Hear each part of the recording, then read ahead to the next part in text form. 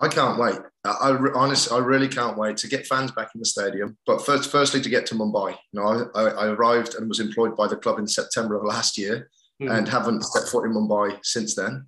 You know, I, I, I, arrived into Mumbai with the national team of New Zealand in 2018 for the Intercontinental Cup. So I've been to Mumbai, but not as the head coach. So I'm really looking forward to that. And I'm actually really looking forward to getting around the country for the away games because when we were away at the Champions League, we we had people travel from the Netherlands, from India.